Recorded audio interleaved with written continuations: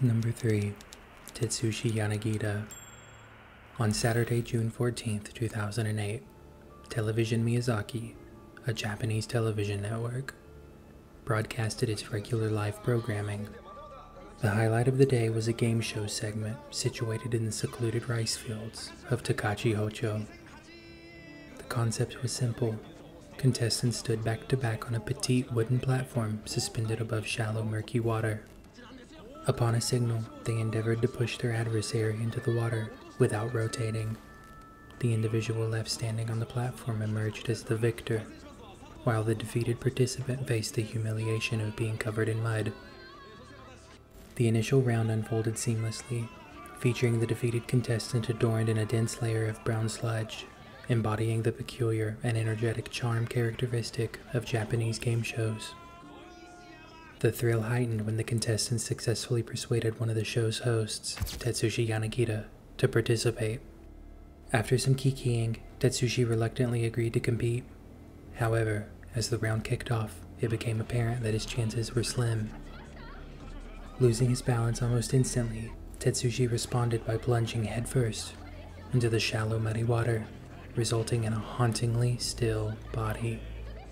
The water he dove into measured a mere six inches in depth, with the remainder consisting of a vicious layer of mud. Tragically, his head collided with the mud, inflicting a severe neck injury that left him permanently paralyzed from the neck down. While the accident itself was heart wrenching, the most disconcerting, disturbing part transpired immediately thereafter. Unaware of the severity of Tetsushi's injury, the crew mistook his condition for a prank and opted to abandon him, with his face submerged in the water. Oblivious to the fact that he was engaged in a desperate struggle for survival, slowly drowning in the mere six inches of water, they proceeded to push his face even deeper into the mud. The agonizing ordeal persisted for a harrowing 15 seconds before they finally raised Tetsushi's face from the water. Regrettably, the respite was fleeting, as they promptly returned him to the mud, face first. The unsettling scene is heightened by the exaggerated and uproarious laughter emanating from those in proximity, completely unaware of the gravity of the situation. Ultimately, after an interminable duration, Tetsushi was lifted above the water and the camera returned to the main broadcast, putting an end to both Tetsushi's distress and alleviating the viewer's discomfort. Through a stroke of serendipity, Tetsushi managed to endure, though just barely. A few additional seconds immersed in the mud could have proven fatal. Beyond the immediate shock of the incident and its outcomes, there exists a tangible possibility that his injuries could have been less severe, or perhaps he might have escaped without enduring permanent damage, had the situation been promptly recognized.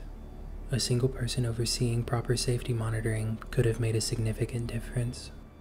Our first story, thankfully, does end with a somewhat positive outcome.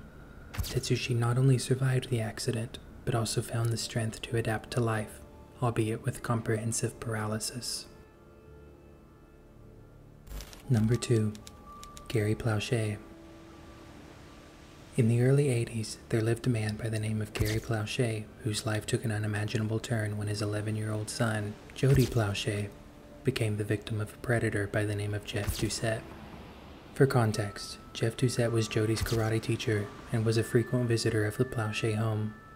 On the surface, everything related to Jody's hobby seemed fine, great even. Jody was regularly entering tournaments and winning trophies. Gary and his wife, June, were separated at the time.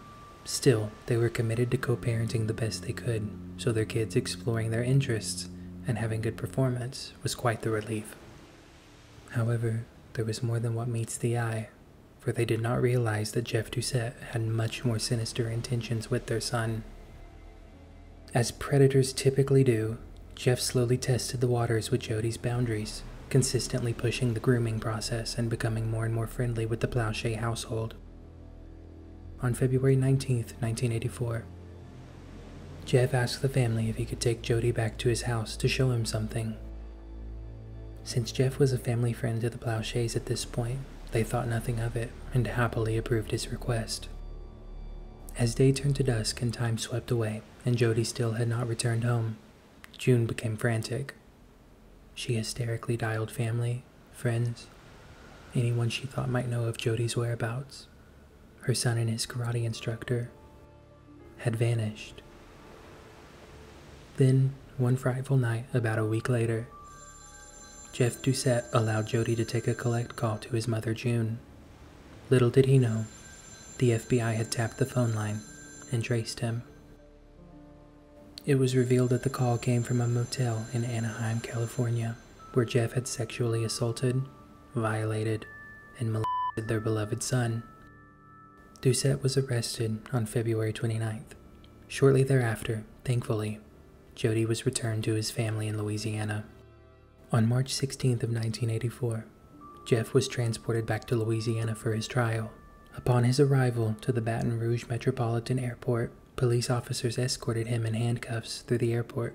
Unbeknownst to him and the officers, Gary Plauché was close by, seeking retribution. An employee of the local ABC affiliate, WBRZ TV, had informed Gary of Jeff's arrival time at the airport, which was 9:30 at night. A news crew from WBRZ had set up cameras to record Jeff's arrival. In an attempt to remain incognito, Gary disguised himself with a baseball cap and sunglasses. As Jeff was being escorted through the airport, he passed the news crew recording the scene. Without recognizing him, he walked right past Gary, who swiftly pulled out a firearm and fired at the right side of Jeff's head at point blank range. Jeff collapsed to the floor while officers quickly restrained Gary, asking, Why, Gary? Why? The entire ordeal was captured on ENG videotape. Due to the nature of the video, I cannot share the full thing, although it is easy to find through other sources on YouTube. Jeff Doucet lapsed into a coma, and on March 17th of 1984, succumbed to his gunshot wound and lost his life. Plauché was sentenced to seven years suspended sentence, with five years probation and 300 hours of community service after his defense team argued he was driven to a temporary psychotic state after learning of the abuse of his son. Several years later, Plauché gave an interview where he proclaimed he did not regret killing Jeff and would do so again. What do you think? Was Gary justified? Let me know in the comments below.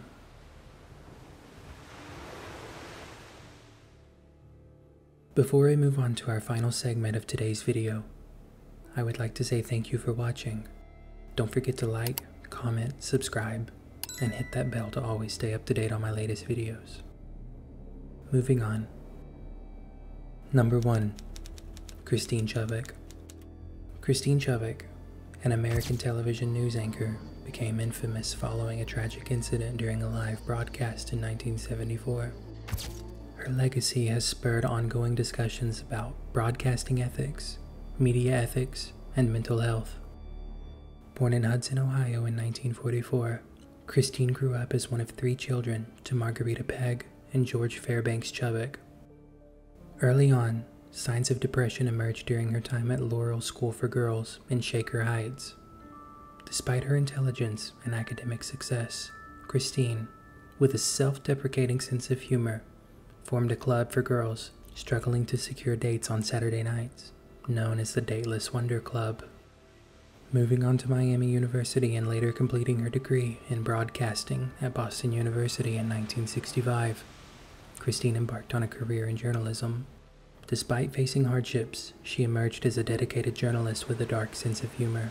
However, her mental health continued to decline, with her family spending substantial resources on psychiatric help. In hindsight, her brother Greg believes she suffered from bipolar disorder and depression. Christine's professional journey included reporting and anchoring for various television stations in Ohio and Florida. Despite her talent, she battled self doubt and frustration with sensationalism in the industry. Her struggle with loneliness, unrequited feelings for a co worker, and the high pressure nature of her job added to her challenges. In addition, Christine harbored a desire for a family, but health issues posed a time constraint. On July 15, 1974, Christine arrived at work, seemingly in good spirits. After some time talking on air, she ended her broadcast with the following In keeping with Channel 40's policy of bringing you the latest in blood and guts, and in living color, we bring you another first an attempted. Christine then abruptly pulled out a revolver during a live broadcast. I will now play the audio for you. Viewer discretion is advised. In keeping with the WXLT practice of presenting the most immediate and complete reports of local blood and guts news, TV40 presents what is believed to be a television first. In living color, exclusive coverage of an attempted